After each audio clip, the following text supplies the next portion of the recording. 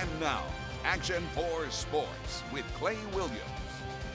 The transition has been taking place all summer long. Now it's pretty much done. UTPA and UTB are no more. UTRGV ready to compete. The first Vaqueros team to take to the field for official practice this school year, the women's soccer team. That's right, the chant UTRGV. The team split down the middle between 13 newcomers and 13 returners from last year's inaugural team that went 8, 9, and 2. The team will be going through two a day starting tomorrow to prepare for the season and to be the first to represent the new UT Rio Grande Valley Athletic Department in competition.